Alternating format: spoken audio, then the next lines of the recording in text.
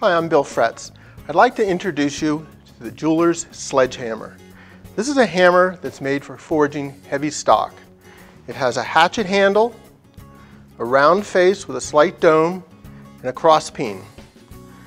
When you're using the round face, you'll hold it toward the end. When you're doing the cross peen, you'll choke up a little bit and you'll find that it has a lot of control. Now let's get to work. We're going to make this twist forge bracelet from a piece of brass that's four millimeters diameter, it's round, and it's six and a half inches long. And that will make a pretty standard size ladies bracelet. Now the first thing to do is we want to bend it in a U. We're going to take an F7 stake and just bend it. And as we bend it, Bring the two ends together and then we will start to forge. We're now going to compress the U shape so it's much tighter. I'm going to work it a little bit from each side.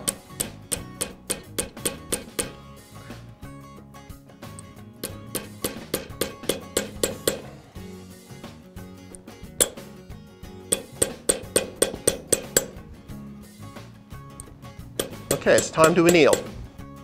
Okay, we're going to forge it, but we're going to forge right next to the edge because I want the hammer to hang over the edge a little bit because we're going to let this taper as it's forged.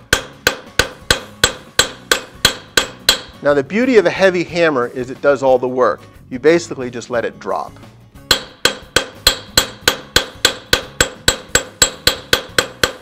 And by hammering on a slight angle, it keeps the shape tight. If you hammer straight down, it will open. Now, you can only go a little bit with brass and then you have to anneal again. So we'll now anneal.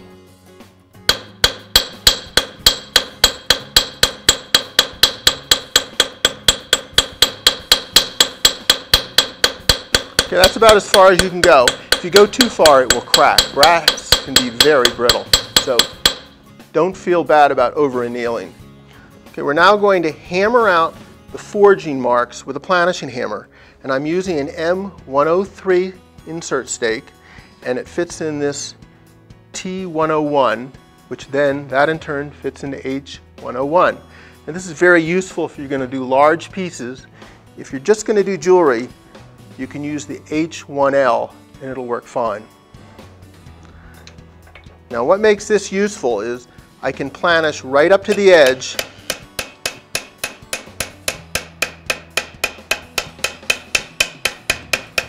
and let the hammer hang over the edge.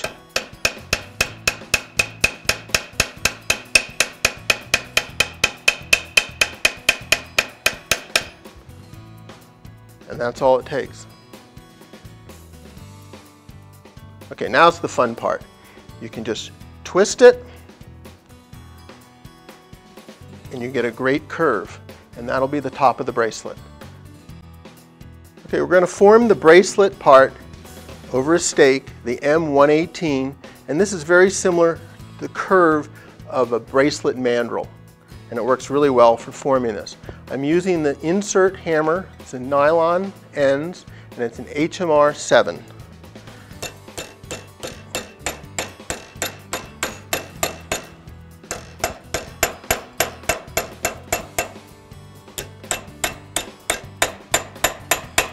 Then we'll do the other end.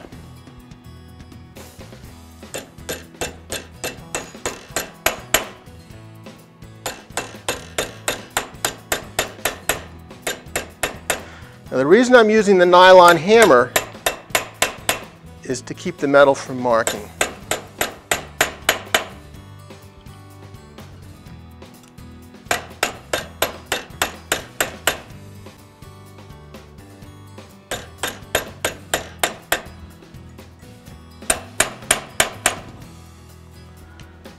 Bend it.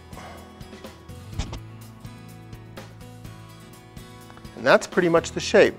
The next step is to file the ends so they're slightly rounded and polish it. And the bracelet's finished. I think you'll find this is a very useful hammer for this project and many more to come.